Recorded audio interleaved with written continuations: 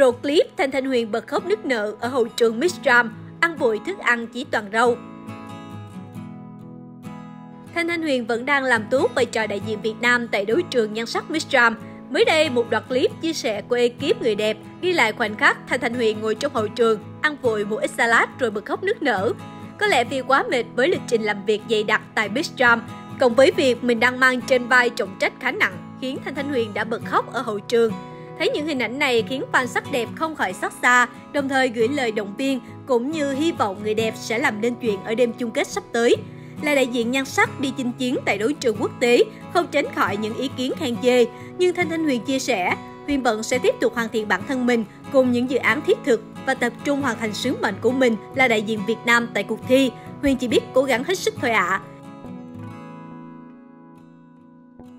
Có thể nói dù chịu khá nhiều áp lực, nhưng Thanh Thanh Huyền đã hoàn thành tốt sứ mệnh chủ nhà hiếu khách để các thí sinh có nhiều kỷ niệm đẹp khi ở Việt Nam. Đừng quên đăng ký kênh Sài Gòn TV Entertainment để cập nhật những tin tức đáng chú ý nhé. Gửi ngày tin nóng cho Sài Gòn TV qua hotline 0909 660 550 để có cơ hội gia tăng thu nhập nha.